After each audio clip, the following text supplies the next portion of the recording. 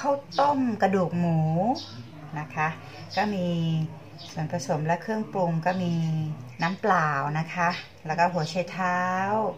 ผักชี รากผักชี พริกไทย กระเทียม แล้วก็มีน้ำตาลทรายนะคะซีอิ๊วขาวค่ะ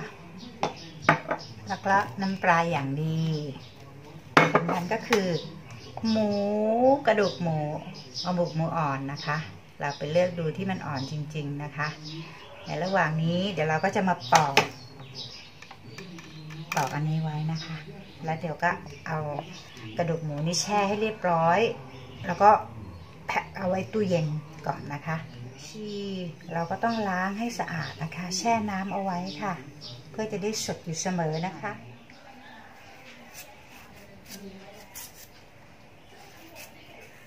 ปอกแล้วก็หั่น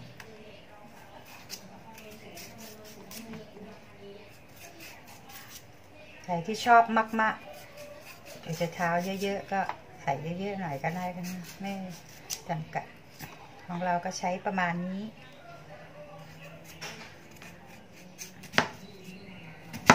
นี่ค่ะหั่นประมาณเท่านี้นะคะ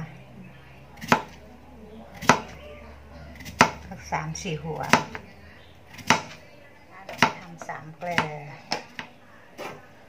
ใช้กระเทียม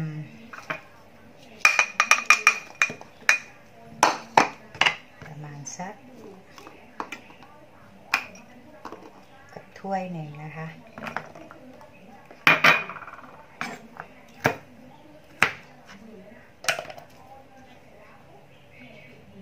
แล้วก็ใช้รากผักชีหั่นให้เรียบร้อย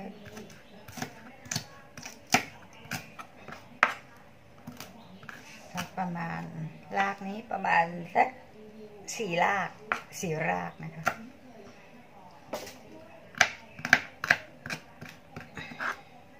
พริกไทยบางสักสองช้อนชา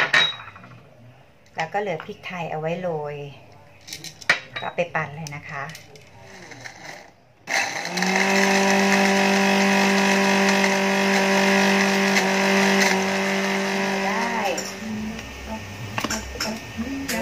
เดี๋ยวเราก็จะมาเจียวผัดให้หอมนะคะในกระทะเดี๋ยวใช้น้ำมันสักครึ่งหนึงร้อนแล้วนะคะ เราก็ใส่ลงไปเลยค่ะ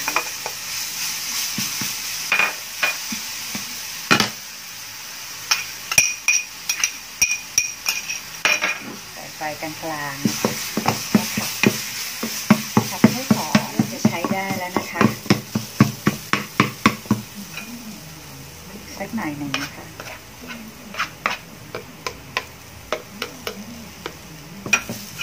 ได้แล้วนะคะยังหอมมากเลยนะคะ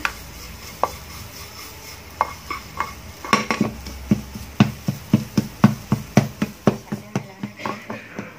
ตักผักเอาไว้นี่นะคะจะทำหอม แล้วเดี๋ยวเราก็จะมา ต้มกันด้วยหม้อแรงดันนะคะ เพื่อจะให้เร็ว ไม่ต้องรอนานนะคะ น้ำไปประมาณครึ่งหม้อนะคะแล้วก็ยกขึ้นไปเลยพริกไทยเดี๋ยวเราจะมาบุบุหน่อยนะคะตำๆหน่อย แล้วก็จะโรยไปก็จะมาตำให้มัน เพื่อว่าเวลาโรยเข้าไปในหม้อ มันก็จะได้กระจายค่ะเล็กน้อยจากน้ำประมาณครึ่งหม้อแล้ว เราก็ใส่อันนี้ไปเลยที่เราเอาไว้หมูเลยค่ะกระดูกหมูออกอุ้ย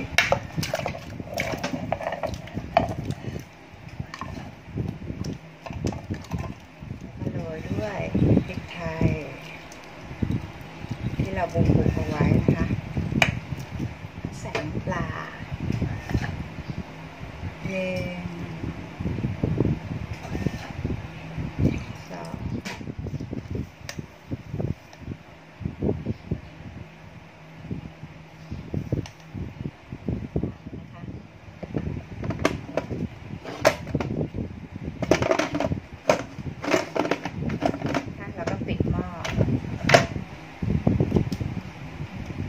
เราก็จะไปที่เมนูกระดูกนะคะแล้วก็กดไปเลย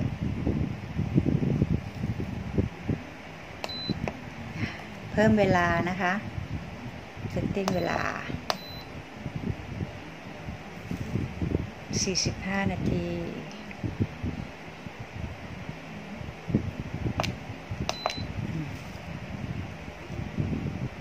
แล้วก็กด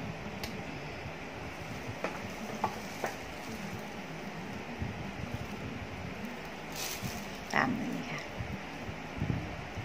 แล้ว เดี๋ยวเราจะมาดูกันนะคะ หลังจากเกือบชั่วโมงเนี่ยเป็นยังไงกันบ้าง ก็จะมาเตรียมบักชีกันนะคะนี่ค่ะเพื่อโรยเป็นเครื่องเคียงค่ะ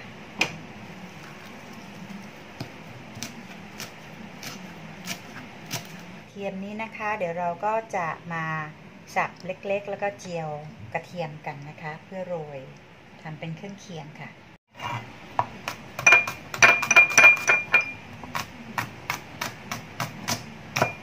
วังมือหน่อยแล้วกันนะคะเราก็ได้กระเทียมสับเรียบร้อยเดี๋ยวเราเราจะไปเจียวกระเทียมกันค่ะเทียมนะคะก็ใส่น้ำมันเหมือนเดิม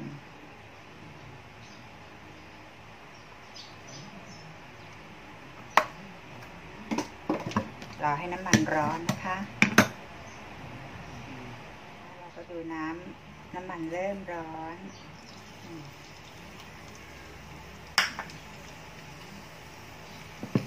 ใส่กระ เทียมไปเลย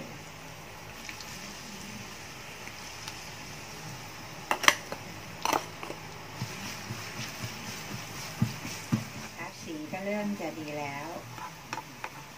ใครไม่ชอบสี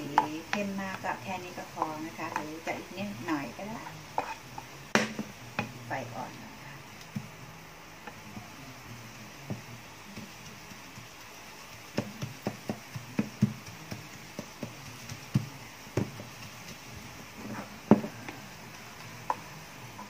เอาไว้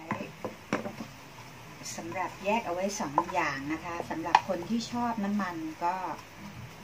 ก็ใส่พร้อมน้ำมัน ถ้าคนไม่ชอบน้ำมันก็ตักออก แล้วก็ใส่กระชอนเอาไว้ค่ะ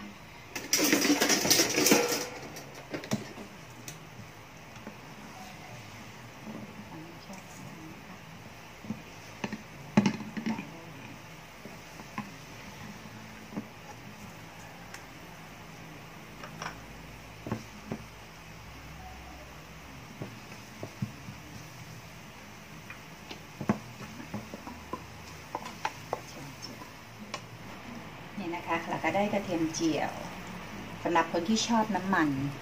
อันนี้สำหรับคนที่ไม่ชอบน้ำมันก็จะพักเอาไว้ มีสองแบบด้วยกัน เสร็จแล้วเรียบร้อยนะคะ ดูกันเลยค่ะ นี่แน่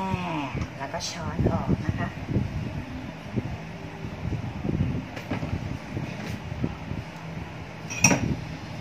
ช้อนพยายามช้อนตรงนี้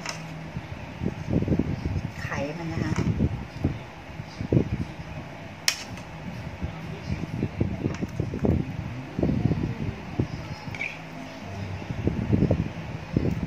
แล้วเราก็ตัก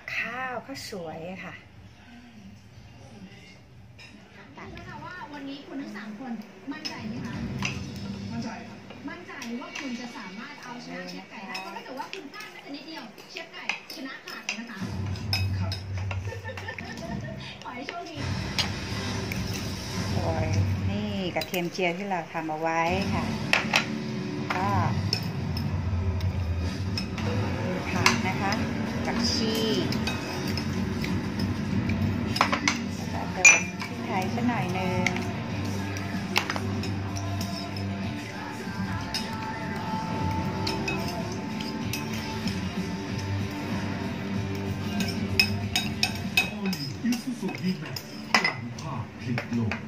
ใครชอบพริกป่นก็เติมพริกป่นเข้าไปนะคะ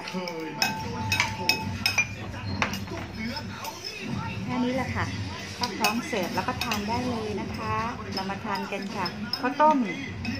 กระดูกหมูอ่อนนะคะ แล้วพบกันใหม่นะคะ อย่าลืมกดไลค์ กดแชร์ กดติดตามสำหรับวันนี้สวัสดีค่ะ